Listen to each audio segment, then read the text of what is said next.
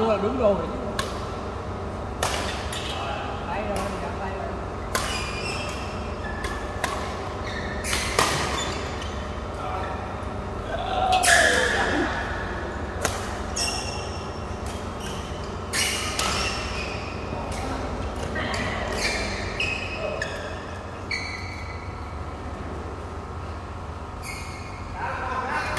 Im mình à?